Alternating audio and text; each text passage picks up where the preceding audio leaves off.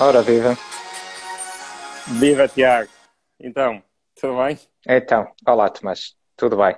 Gostaste, gostaste deste Evangelis? Gostei, gostei, gostei, gostei. Muito apoteótico. Mas enfim, já está muito batido no contexto político, pá. Se já usam da esquerda à direita para os lados é, em muitos comícios. Ah, é? Nem, nem sabia É, disso. é, é, é, é, é, pá, Evangelis é muito, não sei porquê também, mas é, é porque se calhar dá aquele aspecto, dá aquela sensação eh, eh, quase heroica, não é? E O, o épico.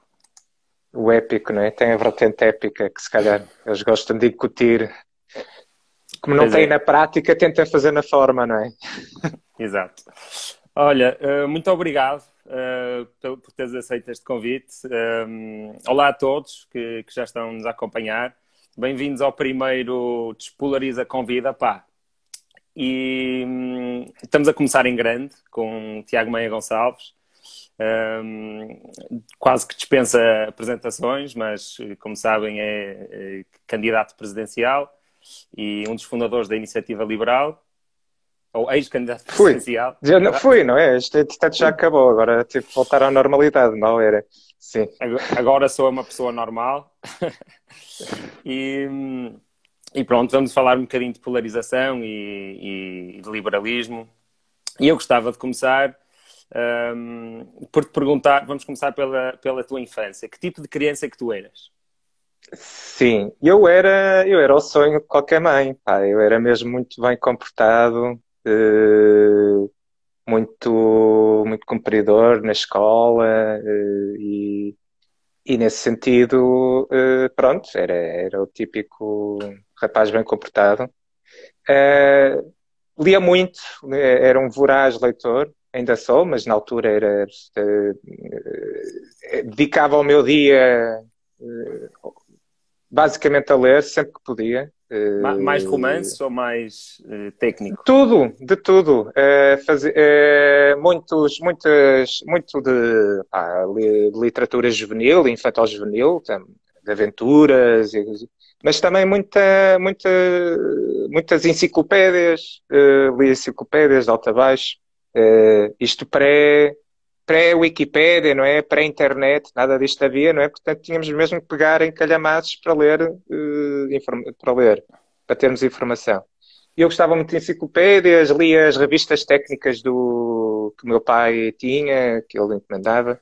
E, eh, aliás, eu, eu, eu aprendi francês porque li, eh, a, a- revista, que eu, que eu nem sequer sei se, se isso continua a existir, que é Science et Vie, que era, no fundo, era uma revista de grande divulgação, pronto, não era uma revista eh, dedicada, era uma revista dedicada ao grande público, mas se dedicava a temas científicos e, portanto, revistas como essas, como a National Geographic, aliás, tenho aqui, vou-te mostrar até, se quiseres, aqui a minha prateleira, tudo isso amarelo aí são National Geographic. Né?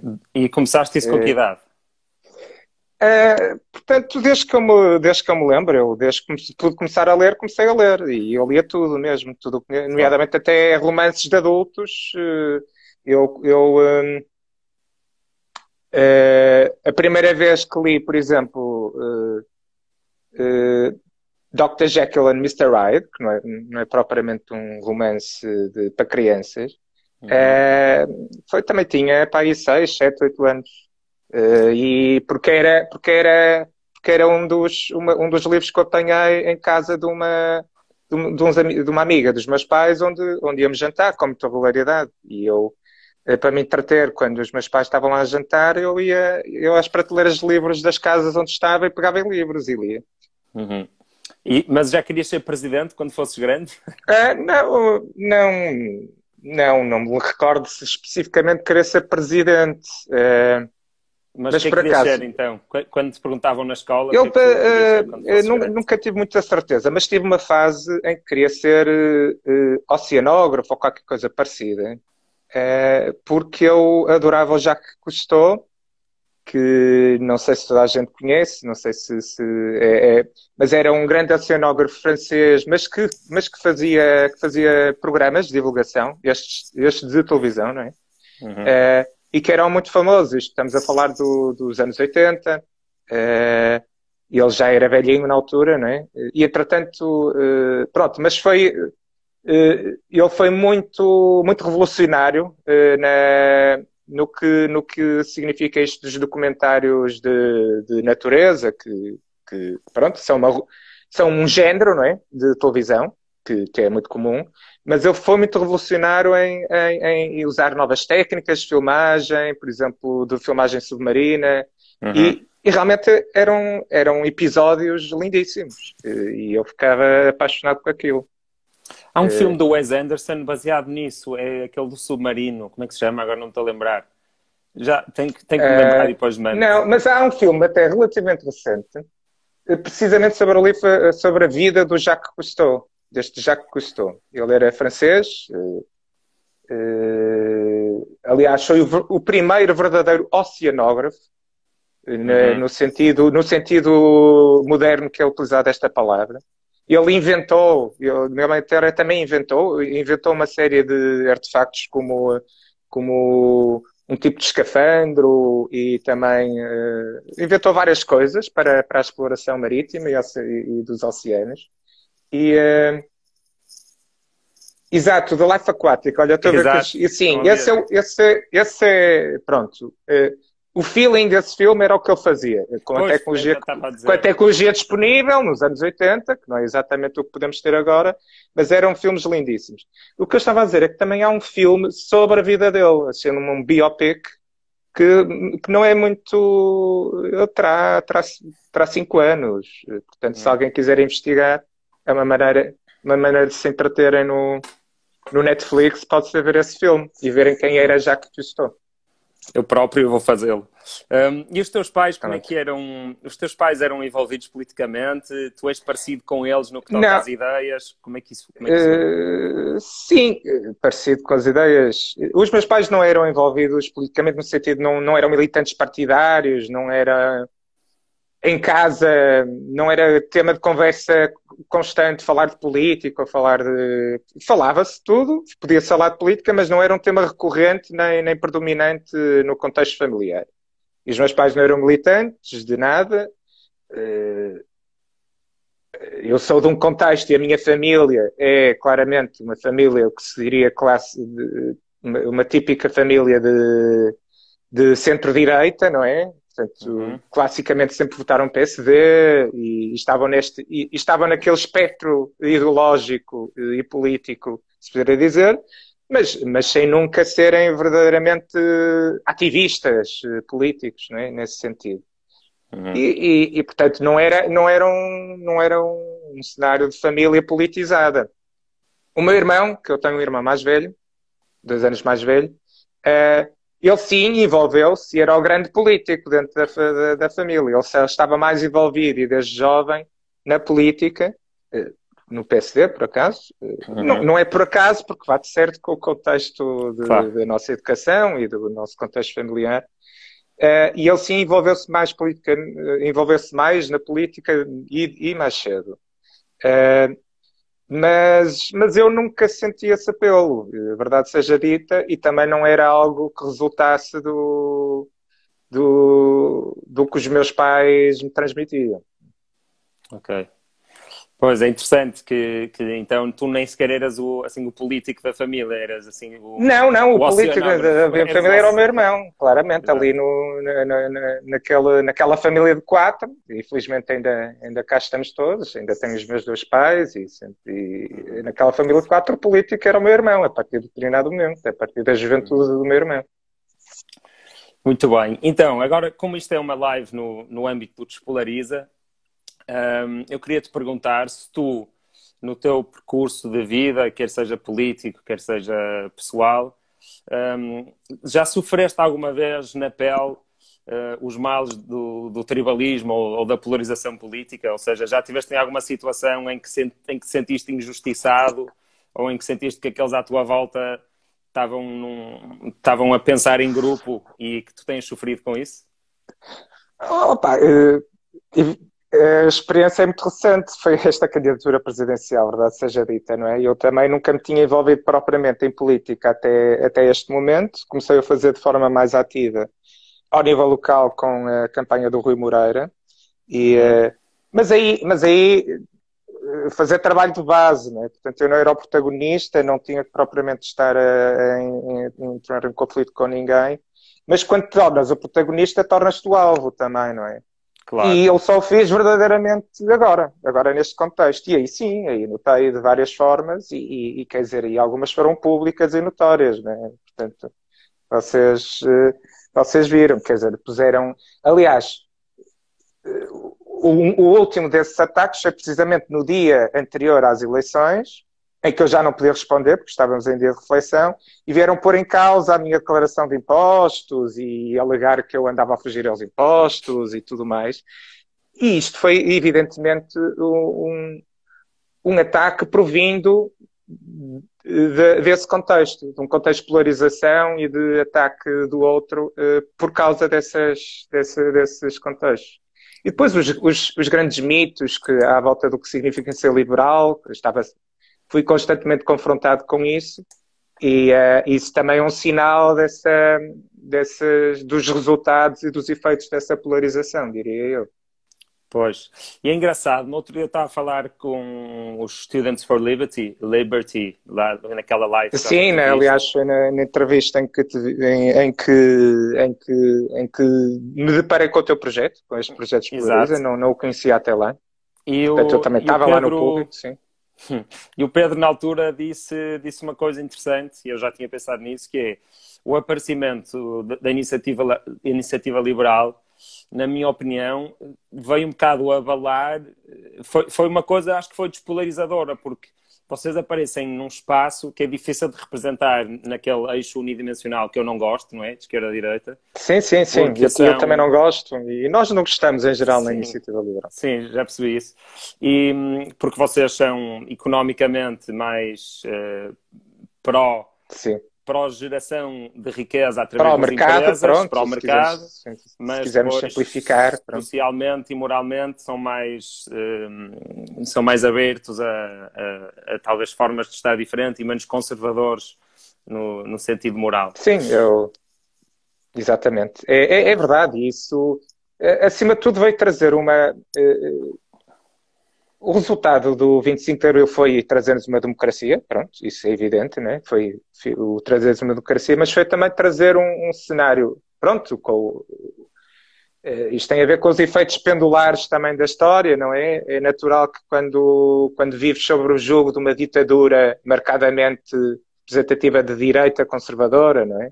Que era, que era a ditadura que vivíamos. É natural que a tendência seja de do pêndulo ir, ir muito mais para o lado lá e a, e a democracia, que resulta do 25 de Abril e que é consolidada com o 25 de Novembro, só aí é que conseguimos garantir uma efetiva democracia.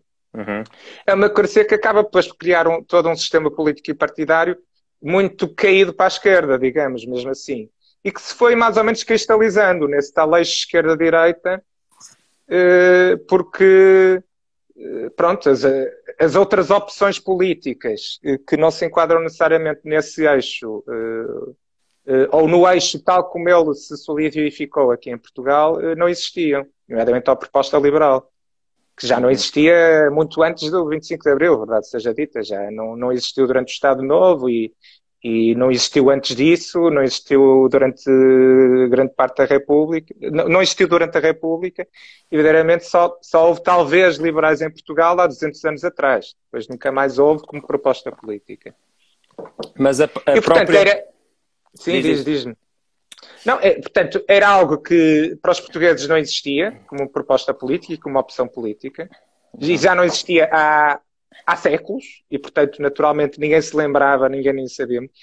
Havia e sempre houve, nos círculos académicos, nos blogs e tal, liberais que discutiam liberalismo, mas que nunca o, nunca o criavam como opção política. Portanto, para esse eixo representativo do que seriam os partidos em Portugal, era uma proposta que nunca fazia sentido. E, e ela surgir, a iniciativa realmente veio causar muita confusão neste eixo. Uhum. É, e a é própria verdade. palavra liberal. E ainda, ainda causa, ainda causa confusão. Sim.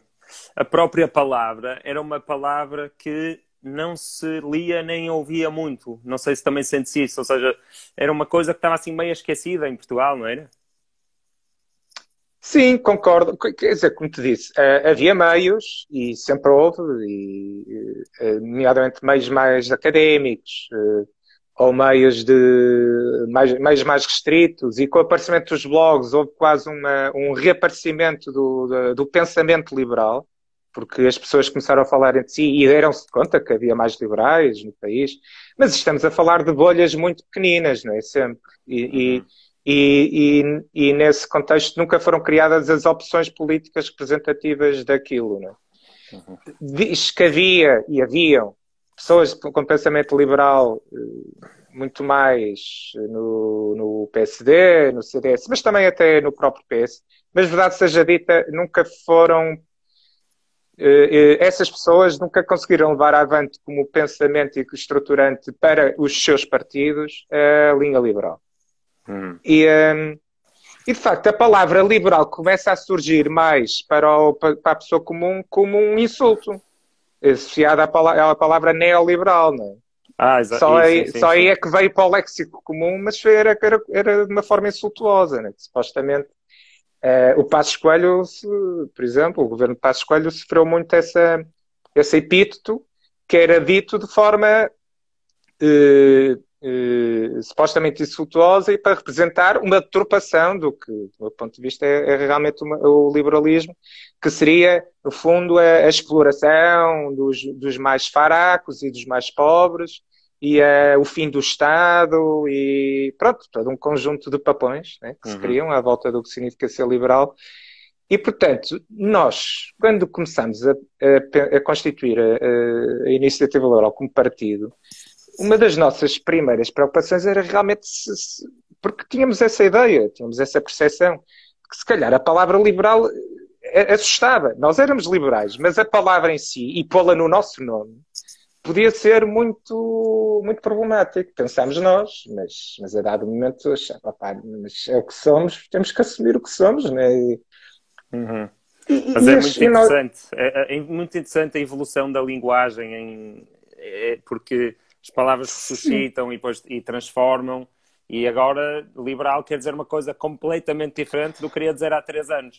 Sim, eu não, sim, isso sem dúvidas nenhumas. O facto de nós termos entrado em jogo mudou já o léxico, digamos, uhum. ou pelo menos o sentido, sentido que as pessoas começam a dar às coisas. Isso uhum. tens toda a razão, é, e é uma boa observação. É, é, acho que ainda há mais a mudar, acho que ainda há muitos, muitos muitos preconceitos e papões sobre o que é que significa ser liberal, mas não há dúvidas nenhumas de que, de que há três anos atrás uh, o conceito era totalmente distinto para o cidadão comum. Uhum. Uh, isso é verdade. Então vamos aproveitar agora esta, esta, esta conversa para irmos à parte mais importante, diria eu, da, destas conversas que eu quero começar a ter com pessoas influentes, que é o quê? É uma rúbrica que se chama pessoas a atacar ideias que normalmente defendem. Certo.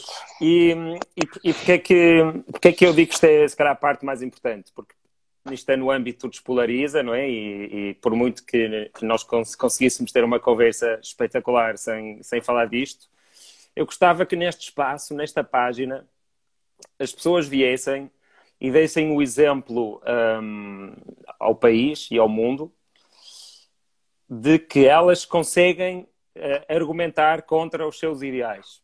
Ou seja, eu acredito que, que, que, quem eu acredito que quem consegue dizer argumentos muito bons contra as suas ideias um, ehm, são, as, são as pessoas que, que, depois conseguem ter opiniões mais válidas e mais convictas.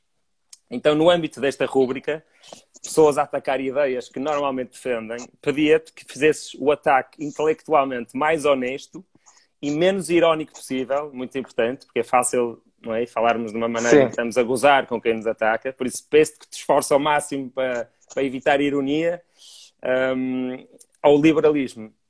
Um, força, destrói o liberalismo, por favor. Não, ao liberalismo é, eu posso tentar ao que o liberalismo pode significar em termos de algumas políticas e portanto e que é, A verdade é que o liberalismo depois aplicado, e é isso, e é isso que a Iniciativa Liberal faz, a Iniciativa Liberal é um partido político, né? portanto propõe-se fazer ação política. Eh, e, nesse sentido, o liberalismo como ação política eh, é muito contraintuitivo em muitos aspectos. E, eh, e portanto, há, há, aqui alguns argumentos que podem ser desenvolvidos, o que é que, por exemplo, uma fé uma fé quase religiosa no mercado eh, tem como efeitos, tem como efeito uh, efetivamente a possível, o possível criação de enormes diferenças económicas e sociais entre as pessoas. E, e ao ponto de levar ao esmagamento de um, de um, de um set, do setor mais favorecido da população. E é possível demonstrar isto, e portanto, isto não é só teoria, uh, uh, isso, isso, tem sido demonstrado. Uh, depois há a questão do. e pronto, isto também pode ser desenvolvido. O grande valor e a grande, e a grande causa para um liberal é a liberdade. É? Mas é, é aceitável dizer que há outros valores que, que as pessoas querem preservar e, e que eventualmente querem, querem pô-los a par ou até uh, a um nível superior do, da sua própria liberdade, da sua liberdade, ou da liberdade, ou do, ou do valor da liberdade, considerado em termos, em termos uh, filosóficos. Sei lá, desde logo, desde logo o valor da vida, não é? Preservar a vida e a saúde das pessoas, o, o valor da solidariedade, o, o, o valor da, o, certos valores morais que as pessoas podem preservar e, e são seus e se elas querem preservá-los, uh, uh, o, uh, o, preconizar sempre que ganha a liberdade em qualquer contexto também pode ser pode ser pode ser um argumento para e depois o que é que eu diria o que é que eu poderia dizer mais eu estou a pensar no, também no, no, que todo um conjunto de críticos tem desenvolvido sobre. Podes dar maus exemplos também, momentos em que o liberalismo correu mal, talvez exemplos de neoliberalismo exagerado. Não, é, é, é desde, pronto, é a grande formulação e a grande crítica, e é a grande crítica que o liberalismo sempre tem que enfrentar, é se é que fatalmente eh, levado a sério mesmo, elevado até ao limite, ele significará sempre a exploração de pessoas para pessoas. E este é um efeito que eh, se pões o exercício da liberdade eh, como único fator, o exercício de cada um, enquanto cada um de nós, enquanto seres livres, a, fazer o que quisermos, eh isto leva à exploração. E a história demonstra em muitas, em variedíssimas ocasiões, não preciso estar aqui a, a dar grandes exemplos disso, uhum. porque, porque já vimos, eh, porque já ouvimos acontecer. O contra-argumento a isto é que, na verdade, a questão da liberdade, como é que concebemos, também tem que ser concebida eh, a liberdade até ao ponto em que não estás a impedir o exercício da liberdade do outro. Não é? E isto introduz desde logo uma nuance muito importante sobre o que significa uh, ser liberal. E, e também há outra nuance importante, que é essencial para o exercício da liberdade per si, que é o estar, o teres opções, em primeiro lugar, mas também, além de ter, o estares em condições de, de, de exercer a tua escolha, a tua livre vontade. E, e se calhar tu muitas vezes não estás, estás em situações de necessidade ou em situação de medo. Tu não estás uhum. a exercer a razão. E o grande, e a grande, a grande princípio de base para, para, para os liberais serem liberais, provém do iluminismo, é, é a grande crença e fé que, que, que temos na, na, na razão.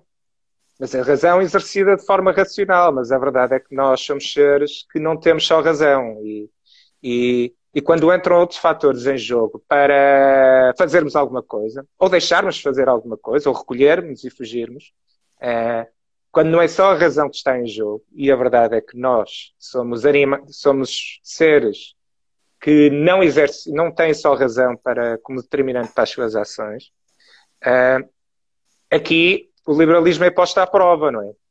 Quando, por uhum. exemplo, estás em contextos em que o grande motivador ou o motivador mais forte para, para, para as pessoas uh, faz, reagirem ou, ou, fazerem o que fazem não é o, o exercício racional das suas faculdades intelectuais. É, são outros motivos. Medo. Isto é factual, isto acontece muitas vezes, não é? Um sim. ponto de vista liberal é que não acontece de forma predominante nem constante. E, portanto, é sempre importante vigiar eh, o. E, e num contexto em que todos temos a liberdade de o fazer, acabamos por reequilibrar e há aqui uma razão uh, comum que vai surgindo. Mas, mas a verdade é que vimos ao longo da história períodos em que grande parte das pessoas estava a ser movidas por outros momentos. Quer seja por medo, quer seja por efeitos de polarização, que, efeitos psicológicos uh, decorrentes de medo, de, de normalmente é, é, porque indo ao mais básico do que nós somos enquanto animais, há, há o estímulo do prazer e há o estímulo do medo, né? Uhum. E, é, e não mais básico dos básicos, né? E, e, e, quem souber tocar estes dois botões consegue às vezes mover, consegue muitas vezes mover pessoas em concreto e consegue às vezes, e infelizmente já o que vimos a ser, mover multidões. Uhum. E, esse, e este também é um grande desafio do liberalismo, porque quando estás em contextos em que uh, as multidões e a grande parte da população e do eleitorado se move por outras razões que não o exercício livre da razão, uh, passa a redundância, pronto, uh, isto é um grande desafio ao liberalismo.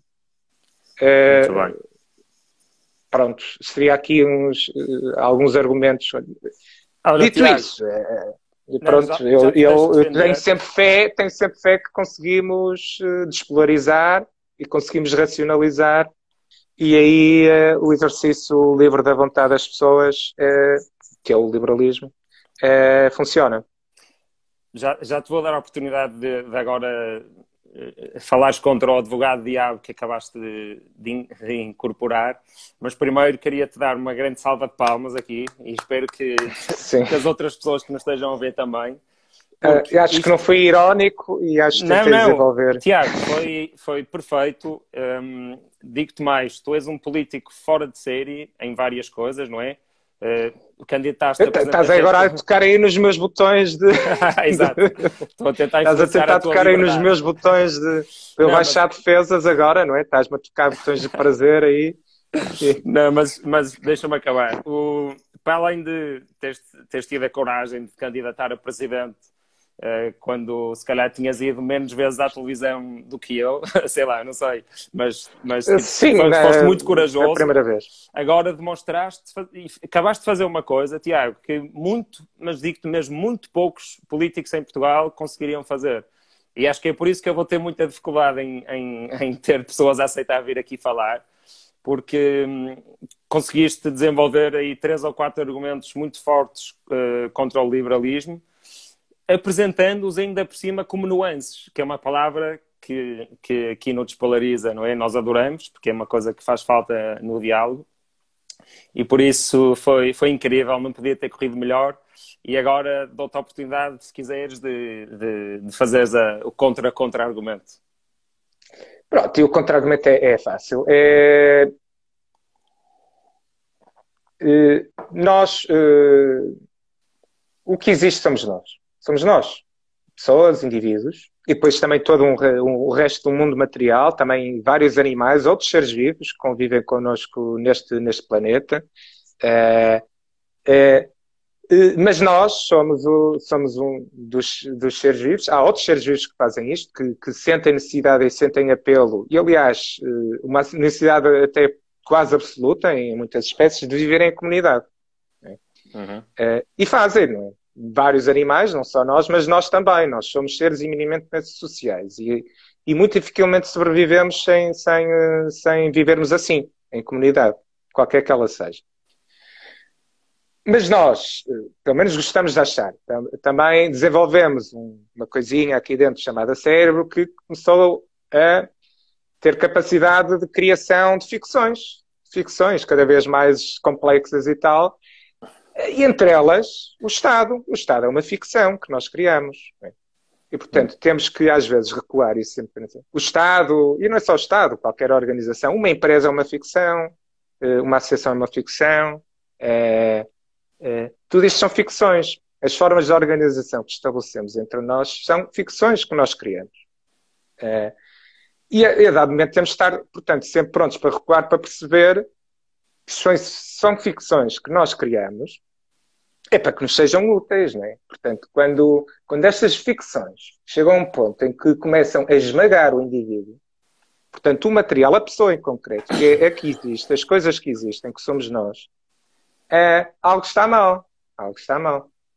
É, e este é um, é um primeiro princípio. O, o liberalismo provém, do, provém de, de, várias ideias surgidas no iluminismo, é, a questão de conceber o indivíduo como não como eh, não como uh, pronto, uma criação de um Deus ou tal, somos seres vivos, mas que, mas que têm, são providos de, de um conjunto de características que nos unem, outras, outras que nos separam, mas uma conjunto de características que nos unem, que é ter a capacidade de pensar, e cada um tem a, nossa, a sua capacidade de pensar, a capacidade de, pensando, portanto, avaliar o que cada um quer para si, e isto é diferente para cada um, eh, mas a, a, a capacidade de o fazermos nós partilhamos, né?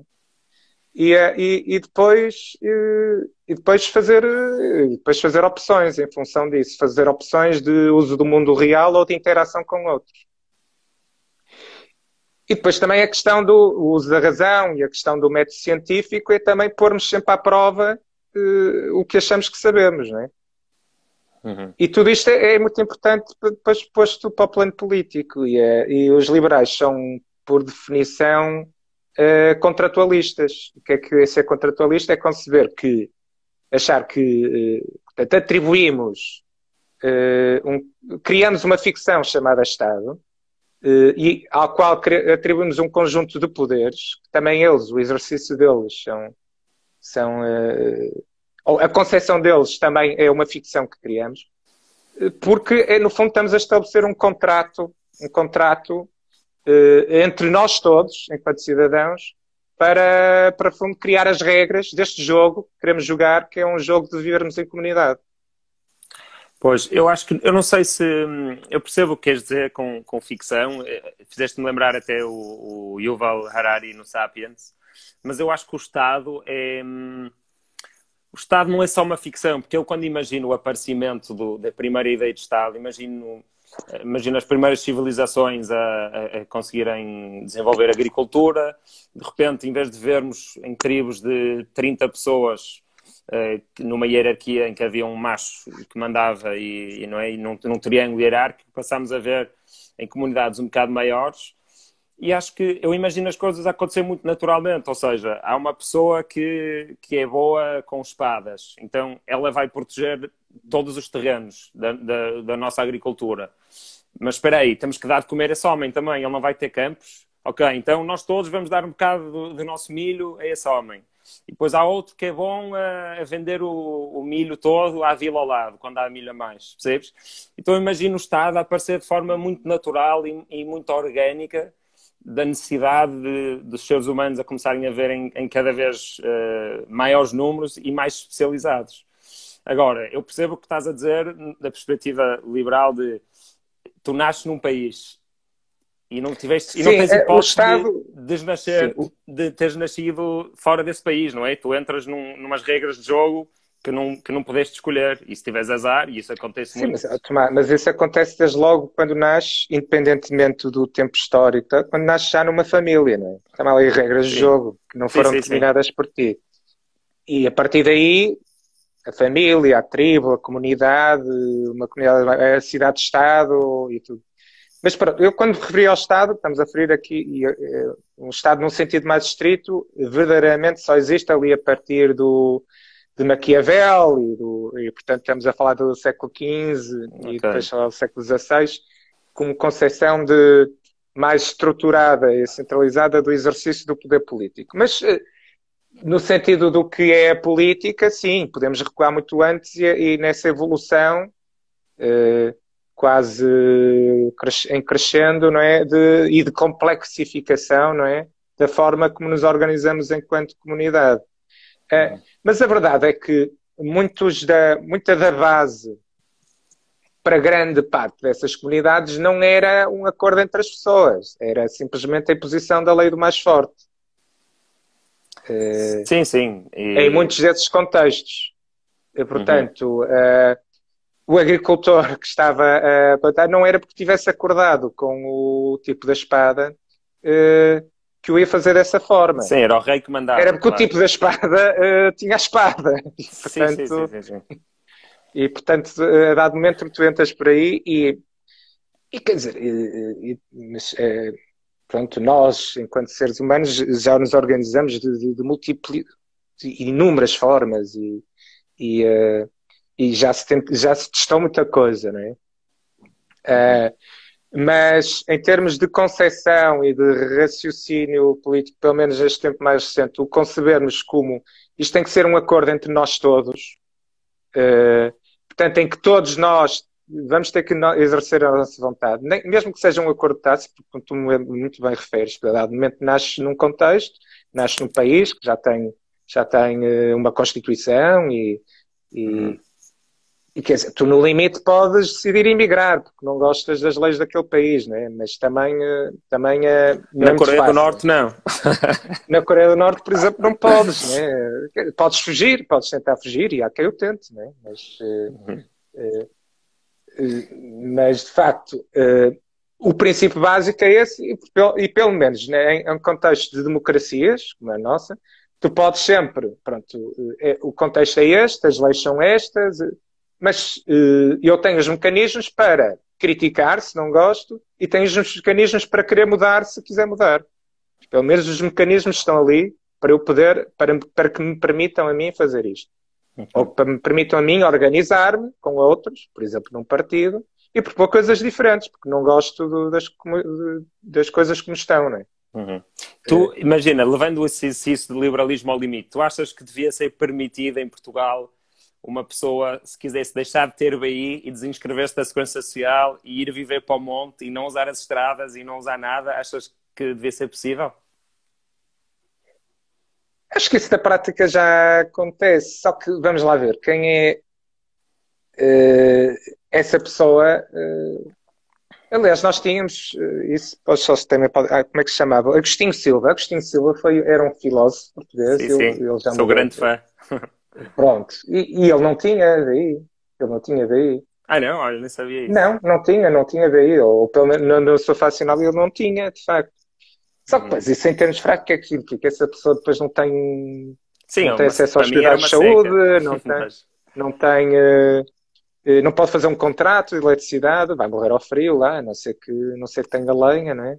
Nesse, nesse tal, nem sequer pode comprar a casa. Pronto, é assim. Uh, o ser liberal não implica, não, um liberal não preconiza o fim do Estado. É, é, nós vemos a utilidade e nós, e nós, nós reconhecemos que, que, o ser humano é um ser social, portanto, eu, tenho que, eu quero viver em comunidade.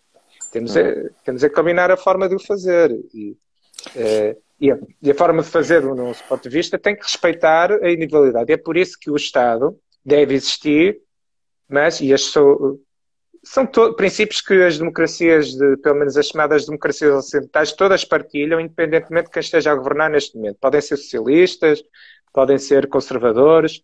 Todas as democracias ocidentais partilham todo um conjunto de liberais, todo um conjunto de princípios liberais que, que, for, que estão na origem da fundação destes Estados modernos, que são a questão de haver uma Carta de Direitos, Liberdades e Garantias. Foram os liberais a trazer isto, porque é, a sua concepção impunha isto uhum. É a questão de haver uma Constituição, a questão do, do, do, respeito do Estado de Direito, ou seja, a lei é para todos e prevalece sobre todos e qualquer um. Uh, estes uh, princípio de limitação e separação de poderes, estes princípios que todas as democracias ocidentais partilham, são, são reflexos dos princípios liberais. Portanto, podes dizer, em certa medida, e diz, e é uma classificação que se faz, que todos vivemos em democracias liberais. Depois, há, é, há é governos e parlamentos em que nem todos são liberais, mas em que a base de sustentação do regime tem princípios liberais incorporados. Uhum. Muito bem, vamos então avançar um bocado agora para mais a falar do, do, dos partidos mais, mais nos extremos, digamos assim, de Portugal. Um, quais é que tu dirias que são o, os, as preocupações e os pensamentos e, e, a vida de quem vota no Chega, por exemplo? Independentemente de quem vote à partida, que eu, eu, eu acredito nisto, eh, eh, as pessoas, quando estão a votar, ou quando estão a envolver-se com o partido, qualquer que ele seja, uhum. estão, estão a partir a fazê-lo por, opa, por boas intenções, não estão a fazê-lo com, com uma, por uma ação concordo, deliberada de, de, de, de malevolência. Não é? A questão é que tem, tem visões, tem mundo e visões, tem conceitos, tem valores diferentes, não é? e que depois entra em choque quando, quando começas a interagir com outras pessoas. Pronto, este é um princípio básico. Portanto, quem vota Chega, ou quem vota PCP, ou quem vota BE, Mas eu, ou quem vota a Iniciativa Liberal, à partida está a fazê-lo uh, uh, porque acha que é o melhor. Não só para ele, mas para a sua comunidade. Pronto, à Sim. partida. Eu já, te, eu já te ia perguntar sobre o PCP a seguir, ou seja, o meu objetivo com esta pergunta era um, desmistificar um bocado, porque, por exemplo, na minha opinião, eu no outro dia estava a dizer isso ao Adolfo Mesquita Nunes. Eu, eu percebo, eu percebo porque é que eu percebo a atração do Chega. O que é que para mim é o Chega? O Chega, a cola que une o Chega é, é a palavra Chega. É as pessoas estarem sim, cansadas, sim, sim. De, cansadas isso, de, de corrupção. É muito cansadas sim, sim, de sim. crises, pá, cansadas de, de, de, escândalos de bancos e de tancos e de, e de, taxas e taxinhas e de promessas que, que não são cumpridas. Então aparece alguém a dizer, chega, pá, vamos mudar isto, e acho que muitos de nós sentimos isto, e, e então pronto, e, e soma-se a isto um discurso que eu considero muito populista, e as pessoas vão atrás. Agora, eu, eu acho que eu acho que. As, eu acho que já toda esta resposta é, é mesmo isso. Tens a toda a razão. A, a, maneira como a, algumas pessoas uh, polarizadas, eu acho que veem quem vota no Chega, ou os apoiantes de Chega, eles, eles, eu acho que eles acham que, que, são todos nazis e que são todos pessoas perigosas e que são tudo pessoas que querem uh, expulsar todos os imigrantes. E era mais nessa, nessa perspectiva que eu te queria perguntar. Agora eu já respondi do Chega. Respondeste. acho, que, é, acho que grande parte do eleitorado que vota Chega está a fazer precisamente pelo que tu acabaste de dizer. Porque, uh, porque está farto de, de todo o conjunto. Portanto, quer realmente. Quer. Uh, está farto de, de, da podridão do sistema político, das, dos, dos, dos casos de corrupção, da de, de, de problemas de insegurança uh, em vários contextos. Uh, Portugal, em geral, é um país seguro, em termos estatísticos, isto é um facto. Só que uhum. depois uhum. podes encontrar problemas concretos que, são, que afetam muito uma comunidades e depois, isso depois que move, é que pessoas se sintam inseguras, quer por circunstâncias concretas, quer também por aproveitamento de discurso nesse sentido. Né? Mas, e, portanto, por tudo isso que tu disseste. E, e, e, também acabaste por resumir um pouco o que é que o Chega representa. Está contido na própria palavra. O Chega esgota-se esgota aí, porque ele só diz Chega, estou farto, mas dali, dali sai muito pouco de solução, não é? Uhum. Uh, o Chega, para muita gente, está a ser uh, o. Eles propõem soluções. O mais eficaz a fazer diagnósticos de problemas que os outros não, do, problemas dos quais os outros não falam, uhum. uh, pelo menos na perspectiva das pessoas. E a verdade é que há temas que o, que o Chega, ou o André Ventura em concreto, porque neste momento uh, falamos de André Ventura ou Chega, uh, pelo menos em termos de representação do que é o discurso do Chega, é o André Ventura e não é mais ninguém. Uhum. ele realmente apropriou-se de alguns temas e tornou os seus também porque são temas de quais mais ninguém falava. É, só que e, e, e, aponta problemas, mas eh, esgota-se na própria palavra do partido, lá está. Mas esgota-se aí porque depois não, não falta a parte do, das soluções, né? do meu ponto de vista. Hum. Uh, Muito bem. Depois há, há, há uma coisa que partilha, que, e aí partilham os extremos, esta questão. E é o grande problema, e é o que de facto os torna mais, os, os que os torna de extremos, é, é é a visão da, da sociedade e, ou da comunidade política como uma visão grupal uh, identitária. Uh, o que são os grupos e o que são as identidades varia muito em função de se é PCP, CBE, se é Chega que estamos a falar. Mas o pressuposto é igual. Eles acham que uh, o grande fator eh, que determina as interações sociais, económicas e políticas não é a individualidade de cada um, é um determinado grupo a que pertences. Uhum. E quando tu pensas desta maneira, de facto, tens a tentação, não, e não é tentação, é, é eh, faz parte de, do, do, teu raciocínio o ter que o, o, o, o, ter que ver o outro grupo, que são os outros. Né?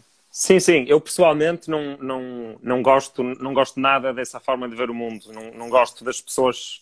Uh, não gosto de ver o mundo dessa forma, como grupos de, de, de, poder. E, por exemplo, eu não gosto de pensar em mim próprio como um, um branco heterossexual. Uh, percebes? Eu, eu sou um branco heterossexual, mas mas sei lá, também sou uma Sim, mas também és milhares de outras coisas. Também tenho né? uma orelha maior que a outra. E fui, e, e, mas isso acho que todos também... temos. Acho que todos temos. Mas há gente que pode não ter uma orelha, por exemplo. Não, mas, mas estava, a dar, estava, estava a dar um exemplo eh, parvo, mas, mas não é isso. Eu acho que. Eh, o, sabes que é o Slavoj Žižek? o comunista. Sim, sim, sim. sim, sim. Ele, ele, no outro dia, estava a ouvi-lo falar sobre isso e ele disse uma coisa, para mim, foi, foi fascinante e nunca mais me esqueci. Acho que é o meu comunista favorito. Ele disse que a verdadeira proximidade, ele, ele disse assim, daquela maneira cheio de tique, cheio de e assim a mexer na cara. Tenho ele, ele disse, a verdadeira proximidade entre um, um preto e um branco não é estarem numa sala uh, os dois uh, cheios de cuidado e com todo o conhecimento histórico sobre o que cada, o que cada um deles sofreu. A verdadeira proximidade é eles beberem uma cerveja a contarem andotas racistas um ao outro. e, e, porque é que, e porque é que eu gostei disto? Porque ele depois diz uma coisa que eu acho que faz todo sentido, que é a, a verdadeira proximidade não é uma proximidade em que tu estás hiper alerta, não é? Isso não é o conforto. Tu não queres estar sentado na sala da tua casa pá, super preocupado com tudo o que vais dizer, não é? A intimidade é o sim, oposto sim. disso. A intimidade é estar num sítio onde pá, tu tens, tens, tens a certeza que aquela pessoa tipo, gosta de ti, tem boas intenções e tu gostas dela e tu sabes isso e vocês conhecem-se bem e, e, e têm uma certa fraternidade, mesmo que, não se, mesmo que não se conheçam bem. E então é, contarem andotas racistas um ao outro. E eu achei muito engraçado, porque ele, como comunista, estar a dizer isto é, não sei, acho que é diferente. Sim. Não, porque ele aí pode dizer isso, mas se, se fosse um banqueiro e um, um trabalhador de, e um estivador, se calhar ele achava que eles não iam, era impossível eles fazerem isso. Mas é, se calhar, possível. Se calhar. Um grande banqueiro e um estivador terem o mesmo esse mas se calhar para se lá aos Gisés, aí ele já havia um problema grave de uhum. grande, de grande oposição e, e uhum. luta de classes ocorrer. Agora saindo um bocado de Portugal, saindo um bocado de Portugal e de 2020. Já, já agora, deixa-me dizer que o meu comunista favorito deve ser o João Ferreira neste momento, porque consegui pô-lo a dizer, a defender a, a propriedade privada e, e, outras coisas muito liberais no, no, no nosso debate.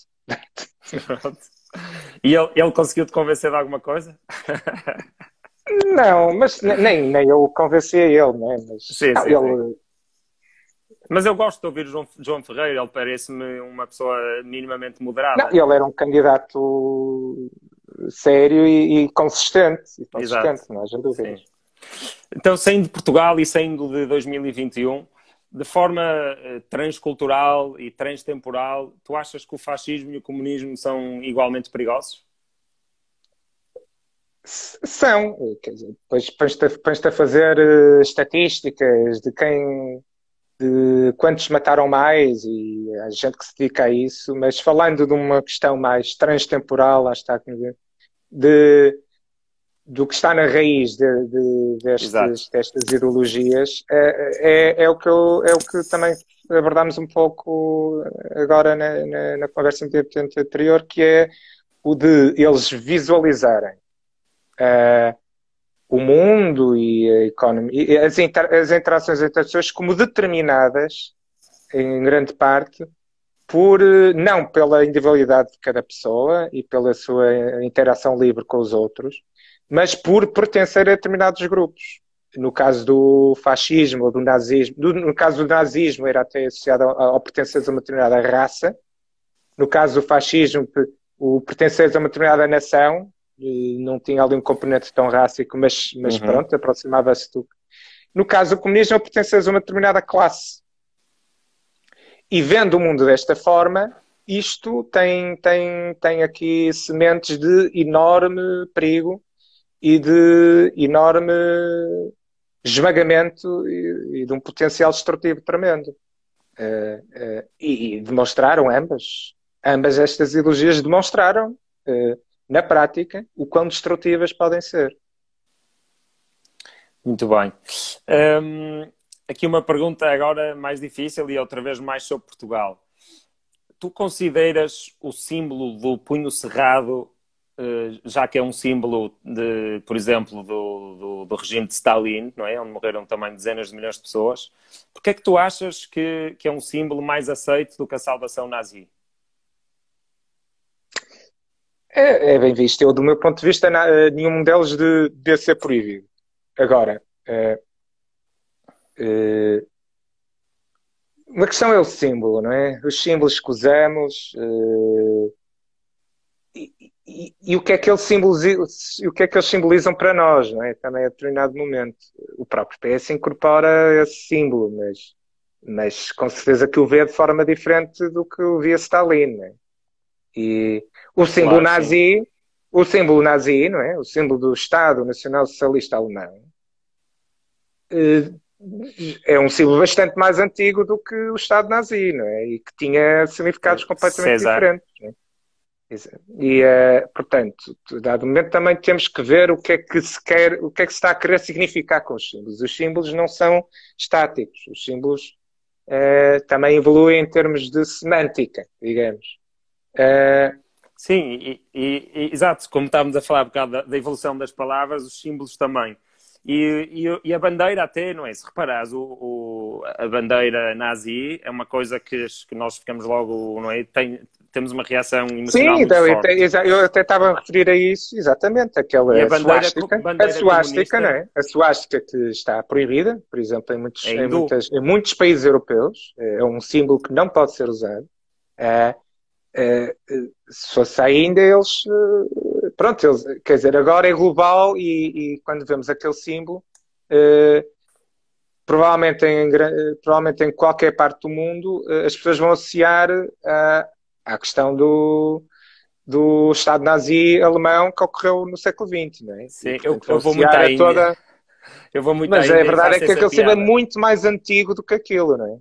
É Sim, eu, mais... eu, eu, vou quase todos os anos à Índia e já passei lá muito tempo e costumo fazer essa piada. Quando estou com alguém que não me conhece muito bem e vejo o, o símbolo hindu, é assim, numa casa qualquer, um, viro-me para essa pessoa e digo tipo, ei, não acredito, estás a ver, vive ali um nazi a fazer-me de burro e as pessoas começam a explicar muito calmamente e depois eu lá explico que estava na Mas já agora pergunto tu, eh, pronto, na Índia, na Índia aquele é um símbolo que até aparece em muitos sítios, né? mas eles eles sentem esse pudor, não é? Dado momento. Já agora que já lá foste tantas vezes, como é, que, como é que eles lidam com aquilo?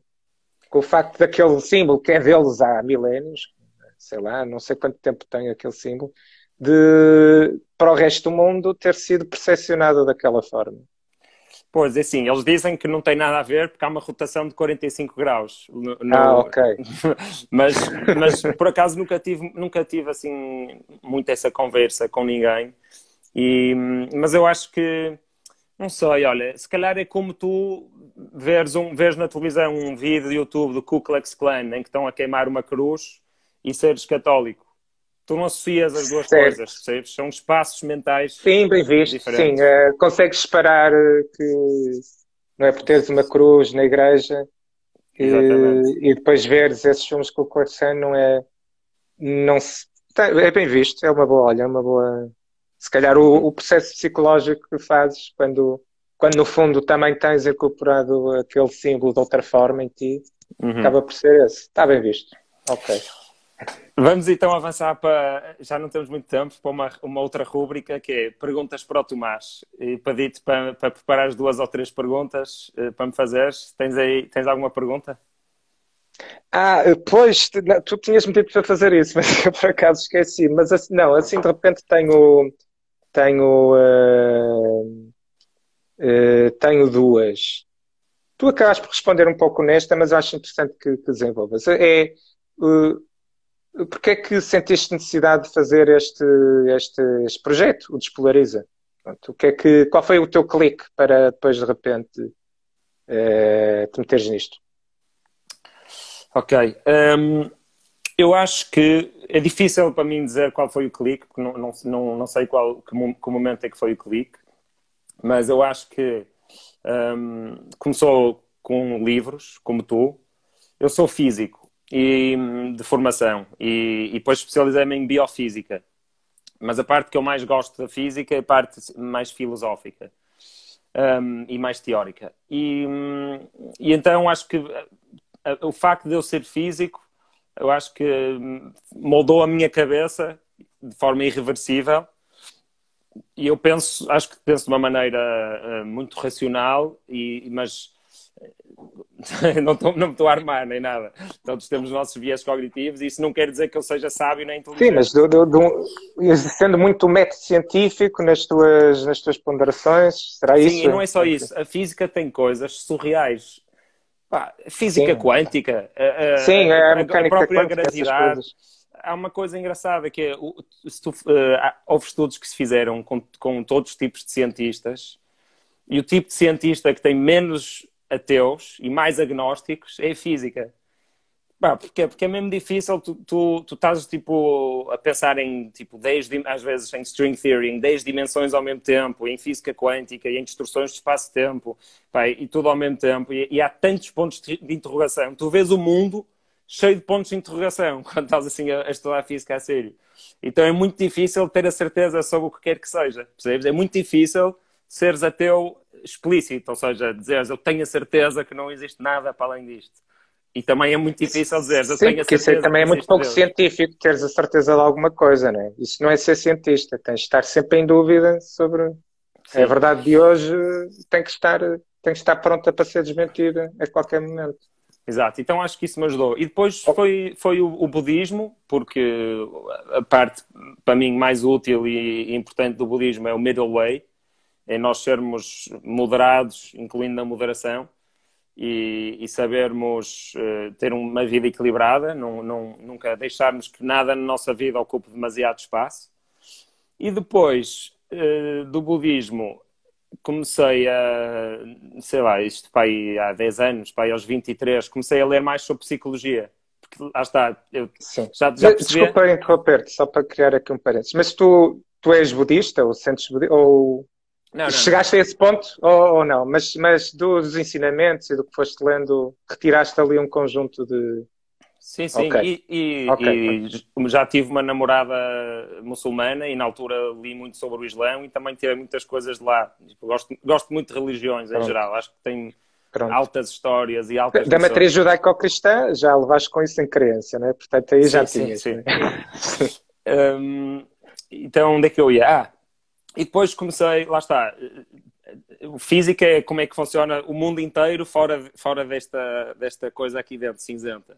Depois comecei Exato. mais a, a, pensar como é que funciona esta coisa aqui dentro. Então comecei a estudar mais psicologia, a comprar livros assim mais de pop psychology, pop science. E, e tudo isto, e uma observação do mundo, fez-me perceber que, que, toda a gente acha que está do lado dos bons e que os outros são maus e que, Sim, e que há, é há, há, muita dificuldade em diálogo. E eu, como num, num, precisamente não, nunca fui militante de nenhum partido, já agora, não gosto da palavra militante, acho que é uma palavra militar. Eh, eh, nós somos membros da Iniciativa Liberal, não usamos a palavra militante. Boa, olha, top. E, então pensei que, que uma boa maneira de me envolver na política seria em, ao longo de todo o espectro político, tentar elevar a qualidade do diálogo e elevar, elevar a qualidade de pensamento, tentar falar sobre viés cognitivos, tentar falar sobre, sei lá, tudo o que tem a ver com, com, as origens do nosso tribalismo, uh, o aquilo que tu disseste, nós sermos escravos do prazer e da dor, e pronto, tudo isso. E, e tem sido ótimo porque tenho recebido imensas mensagens de pessoas a dizer que, que isto era muito necessário e isso é a melhor coisa que eu posso ouvir e vai-me vai -me enchendo o ego. Mas como já estudei budismo, tenho que ter cuidado. Muito bem. Ah, pois, pois, que aí também há, também é uma questão de. Olha, vou-te sugerir também que comeces a estudar o estoicismo, então, que eu, eu considero-me um estoico também, além de um liberal. Uhum. O estoicismo, eh, no sentido que. Aliás, há agora, agora varreu-se-me quem foi o autor, um, também um dos é, é, há, uma, há um comentário muito interessante sobre o estoicismo em que que na, na matriz da civilização ocidental o estoicismo foi aquele momento em que se saiu do, do politeísmo eh, foi aquele parênteses entre que saiu do politeísmo, do, dos deuses romanos e tudo mais, eh, e ainda não se tinha entrado no monoteísmo. De facto é ali um período histórico, eh, nomeadamente com o imperador Marco Aurélio, em, tal, em, que, em que o homem, portanto, eh, o homem entendido como eh, está, está livre de Deus, sejam eles os deuses, os deuses do passado, seja e, e houve ali um momento interessante de mesmo de, de, de desenvolvimento do, da filosofia da, da filosofia do estoicismo e, da, e mesmo da prática política, que depois foi rapidamente ultrapassado pelo facto de, de ter eh, de ter, de se ter imposto de forma retumbante eh, uma religião sobre todo o continente e depois determinou todo, toda a evolução histórica do, do que nós somos e enquanto enquanto enquanto eh, países e enquanto continente e enquanto mundo também não é? Porque afetou todo o mundo mas houve ali um período interessante, um pequeno parênteses na história, em que não tínhamos deuses, nem os antigos, nem o, nem o novo que depois veio. Uh, segunda pergunta para ti, se calhar, agora também daqui um, do aspecto mais pessoal, que é. Uh, uh, tu estás aqui, se calhar, prestes a constituir família, não? Sim. Mais dia, menos dia. Vamos casar este verão. Exatamente, estou, eh, estou já aqui a fazer uma revelação uh, aqui ao público, mas a pergunta que tinha, pronto, virá aqui a constituição de família, pergunto se planeias eventualmente constituir família, vir a ter filhos, e qual seria, nesse caso, uh, a partir do momento em que, em que o filho começa a ter capacidade de apreensão e de, e de compreensão, qual seria ali os primeiro, o primeiro ensinamento que lhe, que lhe querias herdar? Filho ou filha, ou, ou, ou filhos, se saírem mais com um, uhum. Que é grande tal, o teu futuro filho. um, isso é muito difícil. Eu acho que eu acho que essa é a profissão mais importante do mundo, é, é, é educar Sim, um filho e bem, maior responsabilidade. Aliás, no dia estava a tomar banho desculpa esta imagem, mas estava a tomar banho e estava a pensar nisso. Um, duche, pensar... ou, ou, imersão? Não, não, duche. E, é. e, e, estava a pensar nisso, que é, estava a pensar no feminismo e, e estava a pensar no, naquela palavra patriarcado, não é? Eu estava a pensar... É que era o patriarcado, não é? Que supostamente é o que domina aqui a sociedade. Sim, eu estava a pensar, se viessem aliens uh, de outra civilização e chegassem cá, e se eles, e se eles por serem uma sociedade mais evoluída, uh, todos já soubessem que a parte mais importante, que, que é assim que eu vejo as coisas, de uma sociedade é a, a, maneira como educamos os nossos filhos e a atenção que damos, porque isso é que vai criar cidadãos com amor próprio e com, e eu acho, com a capacidade de pensarem por eles próprios, que eles iam achar que quem mandava aqui eram as mulheres, porque iam ver que, que, normalmente quem está a tomar conta das crianças são as mulheres. Então, por acaso, estava a pensar nisso, que é, nós, quem, quem diz que nós vivemos num patriarcado é porque dá mais valor a ir para um escritório oito horas ganhar dinheiro do que a coisa mais importante de todas, que é o bebê que está em casa, a criança que está em casa. E pronto, isto só para fazer um, um pré-parênteses, para dizer que para mim isso é uma, é uma, é uma pergunta muito difícil, precisamente por ser muito importante. Hum, eu acho que vou tentar. Hum, vou tentar... Pode ser uma via fácil. Que é, hum? então, eu perguntava, perguntavas à tua mulher, não é? E ela que dizia o que, ah, qual sim. era o primeiro ensinamento. Provavelmente, provavelmente na prática é isso que vai acontecer, mas vou fingir que, que eu vou ter alguma coisa a dizer no assunto. Não, mas vamos fingir que és tu que vais decidir. Há que o ensinamento, o primeiro, o ensinamento mais básico e o primeiro que deves dar que àquele teu filho, filha, pronto, não estamos aqui a qualificar em termos de género. Uhum. Uh, uh, e que, portanto, achas que, é, que, tem que ser a base ali do, depois do, do, que queres que ele seja e de como queres que ele reaja no mundo e interaja com os outros? Talvez de verdade, provavelmente. Ok, é um bom. Eu também sou muito adepto da verdade. E calma. Verdade e, e calma. Sim. Tranquilidade.